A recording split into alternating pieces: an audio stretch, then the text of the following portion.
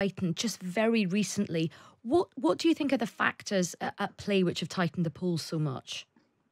Honestly, I think a lot of people have lost faith that if the Democrats win, they're actually going to do anything about of the about the things they're most worried about, whether it's the repeal of Roe versus Wade or the economy or prosecuting Trump for fomenting a coup uh, you know, Biden and and the rest of his administration spent two years running out the clock, um, you know, impeding our democracy, perhaps destroying our democracy in the process. Um, you know, they've acted as enablers, and I think that that's made people lose a lot of faith in the system uh, overall. You know, I do hope people turn out to vote anyway. Uh, I think it's very important, but I've witnessed this happening, uh, you know, slowly and painfully over the last two years.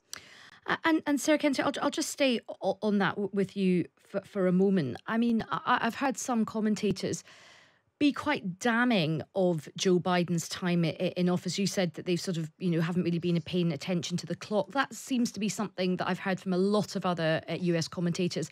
And also a feeling that um, Biden's administration has not really championed the very serious issue of, of American democracy being at stake. Yes, uh, you know, I, have known for my pessimistic predictions, but never in my wildest dreams two years ago uh, did I think that this administration would attempt to memory hole a coup and that the uh, architects of that would not be indicted or even investigated in a meaningful way. And so, yes, um, you know, the Biden administration deserves uh, a lot of criticism. You know, it had a lot of obstacles in its way. You know, Trump came in and bulldozed, uh, you know, what was left of a lot of rotting institutions. And it was important that immediately uh, the Biden administration take take steps to rein in uh, elite criminal impunity, you know, which is what they coast on, and also just to preserve basic things, voting rights uh, in particular, and infrastructure things like the postal service. Um, they did not act to do that. They acted as if they had all the time in the world. At first, I thought they were just, you know, uh, focusing on the pandemic, and I understood that. But as time went on, uh, they showed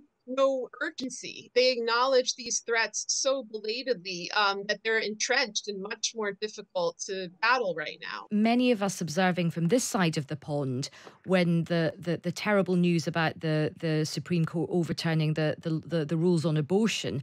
Many people thought that the abortion um, issue would galvanize and stimulate young people, and but that hasn't quite happened. Why is that?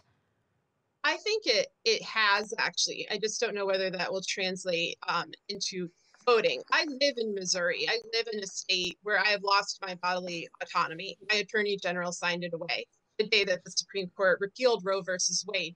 And what it created was a climate of fear. And for women, it means that, you know, there is activism, but it is pragmatic. It's aimed at helping women who need, uh, you know, gynecological support. So it often doesn't even have to do with abortion. Um, in my state, we used to keep uh, track of our menstrual cycles on a spreadsheet even before this happened. So there's an element of surveillance culture, and I think it's given people the impression that American women don't care, that we're not angry. Uh, every woman I know, including Republican women, are absolutely outraged, but they're also terrified and they're worried about becoming an object of scrutiny. One woman in my state uh, told her story. You know, she wanted to have her baby and had a complication and had to have uh, an abortion in another state and nearly lost her life. And now the attorney general is investigating her and he's running for senator. So it's a very frightening climate. Mm. And, you know, just to see one more thing about that, the Democrats have not responded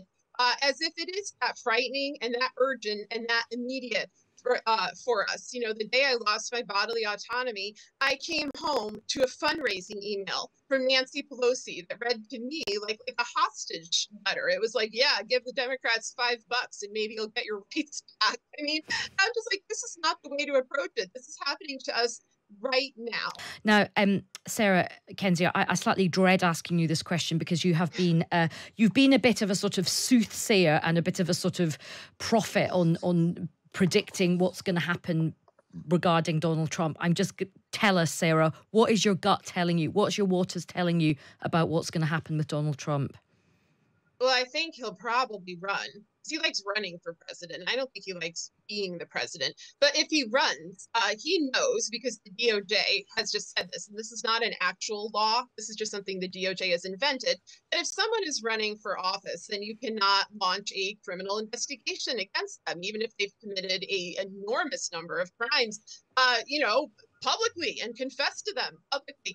That's how Merrick Garland uh, has been treating Trump. So Trump is making a sensible decision uh, in running because he's able to, protect his own, uh, you know, impunity and his immunity uh, from prosecution. This is not the way it should be. The DOJ should just go ahead and prosecute him anyway. But again, um, they waited too long. So I think he'll do that. And what we're seeing uh, is the repercussion of January 6th not uh, being punished. I'm also worried that on election day, we're going to see a lot of mini January 6th, a lot of very violent disputes over um, the vote, because I agree with the other Sarah that this is going to be a very close um, race. And I think it's difficult to predict who's going to win. And I think that that ambiguity um, is going to be exploited in violent ways uh, by Republicans who will, um, you know, use any tactic until the other party finally uh, bows down in submission, whether they actually won or not.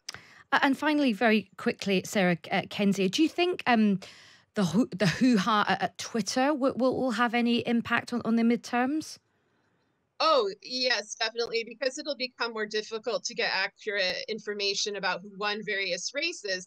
Uh, you know, Musk is uh, taking away verification. So, say you are, you know, the AP or CNN, there will now be like dozens of APs and CNNs, you know, all unverified. You don't know which one is real putting out different results. Uh, we already had a problem with that. It's going to get much worse, uh, much more confusing. I don't know what else he's going to do, but the news media relies on Twitter uh, quite a bit, and local administrations and states uh, rely on that as well, and for things like the documentation of uh, election day violence or violence in the aftermath. It's also important for that.